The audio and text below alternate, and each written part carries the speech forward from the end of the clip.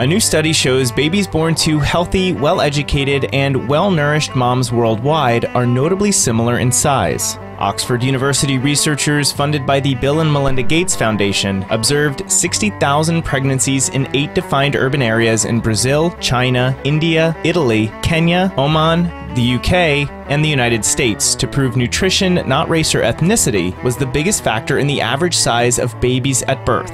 Bone growth in the womb and length and head circumference at birth were similar the world over, provided the mother was educated and well nourished. According to the study, the mean length at birth of the newborns was 49.4 plus or minus 1.9 centimeters. But a 2010 study saw an estimated 32.4 million babies, or 27% of all live births globally, were born below this standard in low and middle income countries, which can lead to severe short and long term health consequences as they grow from children to adults.